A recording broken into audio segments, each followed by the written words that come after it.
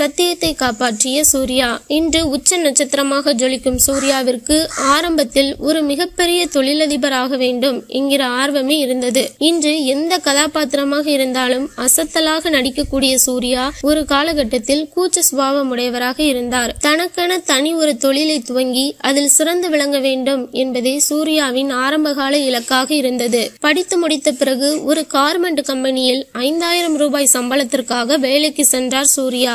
வேலைக்கு செல்லும் இடத்தில் ஒருபோதும் நடிகர் சிவகுமாரின் மகன் என்ற அடையாளத்தை வெளிக்காட்டக்கூடாது என சூர்யாவிடம் சத்தியம் வாங்கிக் கொண்டார் சிவகுமார். தான் வேலை செய்யும் இடத்தில் ஒருபோதும் நடிகர் சிவகுமாரின் மகன் என்பதை வெளிக்காட்டாமல் தன் தந்தையின் சத்தியத்தை காப்பாற்றினார் சூர்யா. சூர்யாவிற்கு திடீரென நேருக்கு நேர் படத்தில் நடிக்கும் வாய்ப்பு கிடைத்தது.